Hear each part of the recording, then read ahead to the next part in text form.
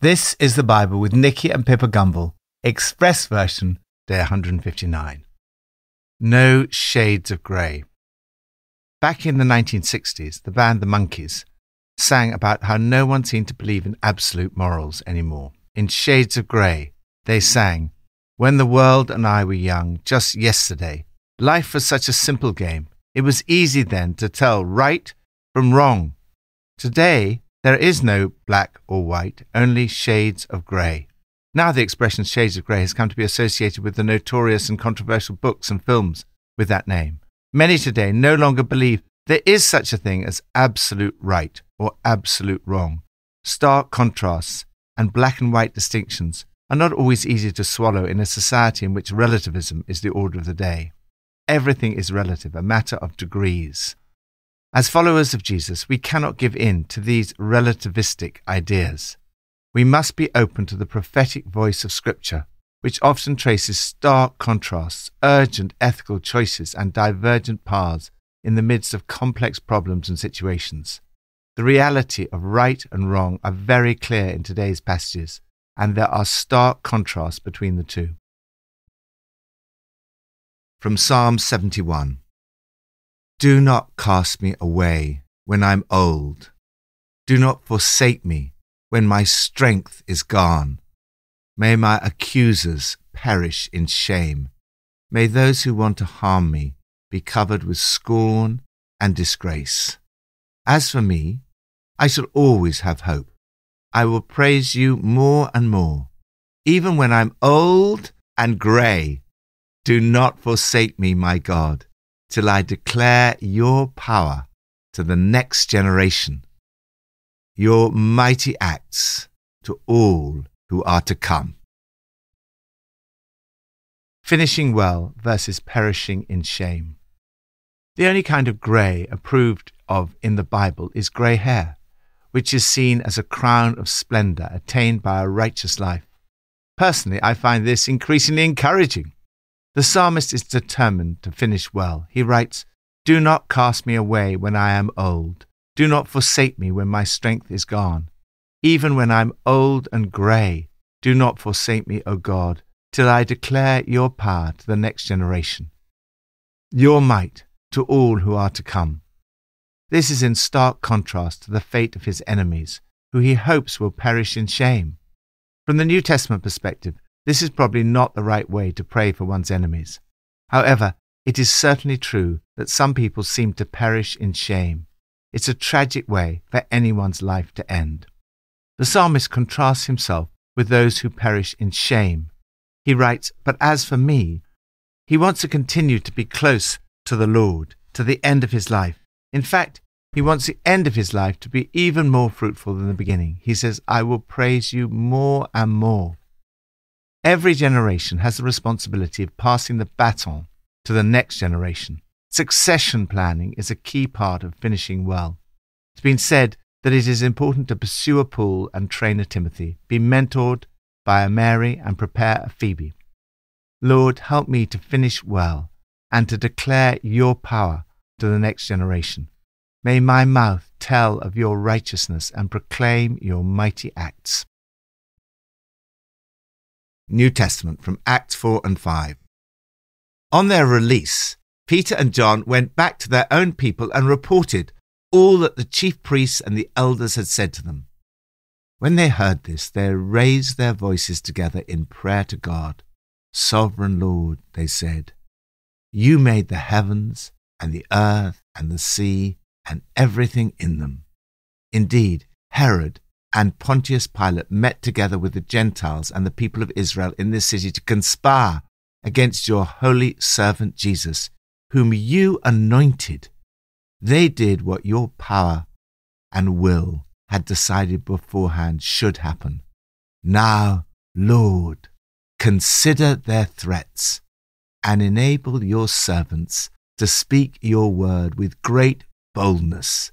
Stretch out your hand to heal and perform signs and wonders through the name of your holy servant Jesus.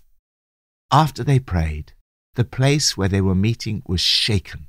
They were all filled with the Holy Spirit and spoke the word of God boldly. All the believers were one in heart and mind. No one claimed that any of their possessions was their own, but they shared everything they had. With great power, the apostles continued to testify to the resurrection of the Lord Jesus. And God's grace was so powerfully at work in them all that there was no needy person among them. For from time to time, those who owned land or houses sold them, brought the money from the sales, and put it at the apostles' feet, and it was distributed to anyone who had need. Now a man named Ananias, together with his wife Sapphira, also sold a piece of property. With his wife's full knowledge, he kept back part of the money for himself and brought the rest and put it at the apostles' feet. Then Peter said, Ananias, how is it that Satan has so filled your heart that you've lied to the Holy Spirit and have kept for yourself some of the money you received for the land? Didn't it belong to you before it was sold? And after it was sold, wasn't the money at your disposal? What made you think of doing such a thing? You've not lied just to human beings, but to God. When Ananias heard this, he fell down and died, and great fear seized all who heard what had happened. Filled with the Holy Spirit versus filled by Satan. Church should never be boring. No one was ever bored in the early church. You never knew what would happen. There was such a powerful sense of God's presence. Some loved it, others were terrified. Again, we see a stark contrast. First, we see the results of being filled with the Holy Spirit. First, boldness. Peter and John were not put off by the threats made to them. Rather, they raised their voices together in prayer to God. They prayed, Now, Lord, consider their threats and enable your servants to speak your word with great boldness. After they prayed, the place where they were meeting was shaken, and they were all filled with the Holy Spirit and spoke the word of God boldly.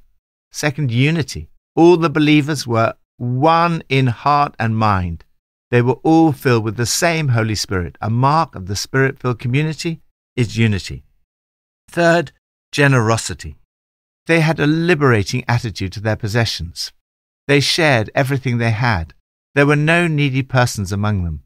Those who could afford it helped support those who were in need. Fourth, power. They'd prayed, Stretch out your hand to heal and perform miraculous signs and wonders through the name of your holy servant Jesus.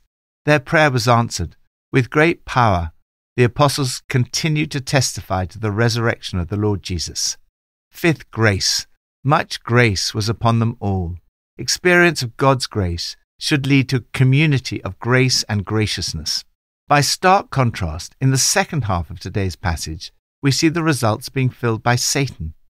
Peter used very strong language when he says, Ananias, how is it that Satan has so filled your heart? There was no necessity for Ananias and Sapphira to give away their property or money. Didn't it belong to you before it was sold? And after it was sold, wasn't the money at your disposal? They were not criticized for a lack of generosity. Rather, the evidence that Satan had filled their hearts is not only that they lied, which could be a spontaneous act, but also they had conspired together to lie. Peter says to Ananias, You have lied to the Holy Spirit. And he says to Sapphira, How could you agree to test the Spirit of the Lord? This conspiracy was premeditated and prepared. God gave Peter a word of knowledge. This exposed their sin. The fear of God came upon the people. This type of fear was not a fear of human beings or a slavish fear, but rather a holy fear. They had a healthy respect for God. They knew God was not to be trifled with. This is not an easy story to read, and many of us struggle with the severity of God's judgment in the passage. Ultimately, only God knows the secrets of our hearts, and we need to trust that His judgments are fair and just. It reminds us, though, of the awesomeness of God's presence in our midst. A sense of God's presence was so great that people feared that their sin might be exposed. But this presence of God and the Holy Spirit also brought about extraordinary conversions, healings, signs, and wonders. Lord, fill us with your Holy Spirit. May we be a church known for its bold proclamation, unity, generosity, power, and grace. Old Testament from 2 Samuel 13. No, my brother, she said to him, don't force me. Such a thing should not be done in Israel. Don't do this wicked thing. Love versus hate. In this passage, we see strongly contrasting emotions. Amnon fell in love with Tamar. He says, I'm in love with Tamar, my brother Absalom's sister. David had many wives and many children. The boys would probably have been separated from the girls at the age of five or six. There would not have been a sense of belonging together that exists in a normal family today. Amnon plotted to rape Tamar, who pleaded with him, Don't do this wicked thing. She even offered to marry him. The law forbade marriage to a half sister. Possibly, this was not being practiced at the time. More likely, Tamar was clutching at straws. Amnon refused to listen to her, and since he was stronger than she, he raped her. The Bible does not ignore the issue of sexual abuse. Rape has always been and still is a horrific crime. Tamar describes it as wicked. It's an act of a wicked fool. It leads to desolation, and it is a disgraceful act. We see a glimpse of the terrible damage sexual abuse does to the victim. Tamar poured ashes on her head. Then she ripped the long sleeved gown, held her head in her hands, and walked away sobbing as she went. She became bitter and desolate. Instantly, it appears, Amnon hated her with an intense hatred. In fact, he hated her more than he'd loved her. This led to further tragedy for David and his household. The violence is perpetuated. Amnon is killed and Absalom flees, separating him from David. Perhaps it would be more accurate to say Amnon was infatuated with Tamar. He may have been in love with her, but he certainly did not love her. It is extraordinary, though true to fallen human nature and experience, that infatuation can quickly turn to hatred. Amnon's love was certainly not true love. Love is patient. Love is kind. It does not envy. It does not boast. It is not proud. It is not rude. It is not self seeking. It is not easily angered. It keeps no record of wrongs. Love does not delight in evil, but rejoices with the truth. It always protects, always trusts, always hopes, always perseveres. Lord, deliver us from hatred. May we be filled not by a superficial love, but by a love that is the fruit of the Holy Spirit. Pippa adds In 2 Samuel chapter 13, we see the family breaking down. There seems to be some terrible decisions going on at the time. Jonadab, who was Amnon's friend, gave bad advice. And if David had punished Amnon for raping his sister Tamar, it might have stopped Absalom from taking the law into his own hands. Jonadab, who clearly should have been ashamed of himself, was half the problem. He knew it was Absalom's expressed intention to kill Amnon, yet he didn't warn David. He only tells him afterwards. He was a bad friend to them all. It is hard to tell people the truth rather than to tell them what they want to hear, but it is important to give the right advice, even if we risk the friendship.